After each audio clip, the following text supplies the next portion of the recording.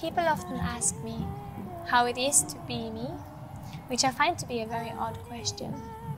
But then I, I sit down and, and, and I think about it, and I, and I think the biggest difference between difference between me and many people I meet is that I'm extremely free. I, I've never really cared about what people think or what is right to do, what's wrong to do.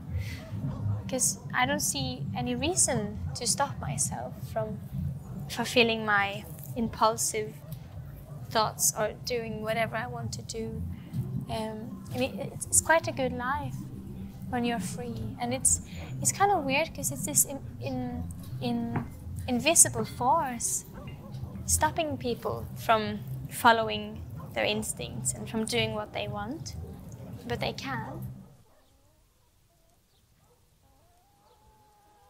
I would recommend anyone to um, to exist alone in a quiet place like nature. It's a very good place to become a philosopher, to really think through things and figure out things. Mountains are very good for to gain a different perspective. I find if you go up there, you you know it's it's a physical thing where the perspective changes and you realize how big the world is and how small you are and how small your problems might be as well. I would recommend people to explore dancing because dancing of some reason seems to be an embarrassing thing for most human beings but it's such a beautiful thing and I think you know the worse you look when you dance the better it is the, the, the more beautiful you, you look to the world because the world can see that this person is free. And freedom is a very handsome thing to wear, I think. Okay? To try out nature, to, to try just how it is to be either in a forest alone, or on a mountain, or on the sea. Um, because I feel like those are the three big open spaces that the world can offer us. You know, the mountains, the forests, the fields, and the sea.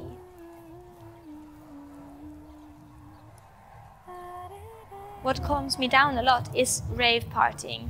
I love going to rave parties, and I love to go out and dance and just stay awake all night. And it's one of my favorite things to do alone also is healthy to experience life alone.